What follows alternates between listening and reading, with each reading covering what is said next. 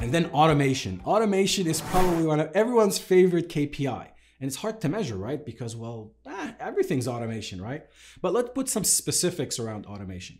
Now, automation could be things like do we have a self-service portal? Now that in its on its own can potentially be a key performance indicator if we really wanted to, right? Do we have a self-service portal? Check. That could be a KPI.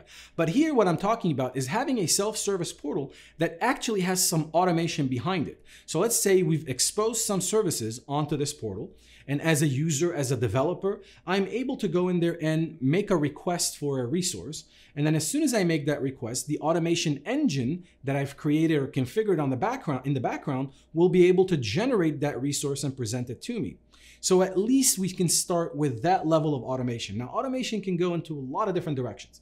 We can measure whether or not we are using uh, type some kind of a, an immutable infrastructure, right? So instead of patching my servers, my instances, my virtual machines, I'm constantly destroying them and redeploying them from some kind of a configuration management or, or some kind of an automation framework continuous integration, continuous deployment framework, right? So that really becomes then a really good key performance indicator. And you can see how much you can expand within the realm of automation. There's a lot that we can cover, but I'm just giving you some starting points, some things that you can use to get started with your KPI.